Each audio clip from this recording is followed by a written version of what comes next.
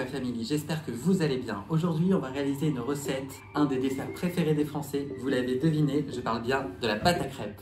Tout d'abord, il faut savoir que la crêpe vient de Bretagne. Qu'elle soit salée ou sucrée, elle a su conquérir l'ensemble des Français au fil des années. Ce que je vous propose, c'est de commencer la recette. Je vais vous lister tout ce qu'on a besoin. Vous verrez, c'est détaillé, vous aurez le grammage et les millilitres exacts. Pour réaliser cette superbe recette de crêpes, il vous faudra du sucre, du lait, de la farine, du beurre, 4 œufs et la fleur d'oranger, sans oublier le sel.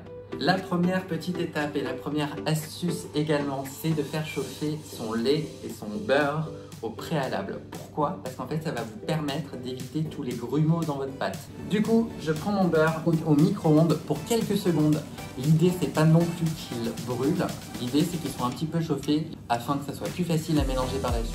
Pour cette deuxième étape, vous aurez besoin d'un saladier. On va mélanger la farine, le sucre et le sel ensemble.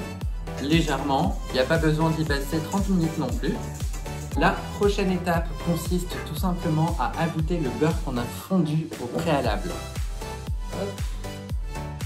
Vous vous munissez également de votre fouet ou de votre spatule, peu importe, et vous mélangez.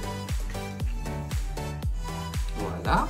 Vous allez voir, ça vous fait comme des petits sablés, le début du moins de la recette des sablés.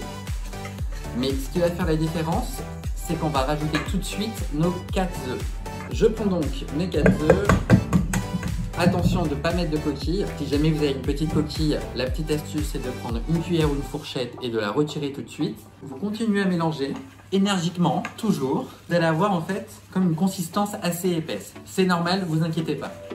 La suite, et vous l'avez deviné, est de rajouter le lait qu'on a fait chauffer au préalable dans la préparation. Vous allez voir que la base commence à devenir vraiment liquide et à ressembler de plus en plus à la pâte à crêpes, mais il va nous manquer quelques ingrédients encore. Je vais donc maintenant rajouter le sucre vanillé et ma fleur d'oranger dans ma préparation et remélanger le tout. Comme vous pouvez le voir, ma pâte à crêpes est finie. Je vais maintenant la laisser reposer 30 minutes minimum. Et voilà, maintenant il ne reste plus qu'à sortir la poêle et faire chauffer pour faire de superbes crêpes. J'espère que vous allez impressionner toute la famille.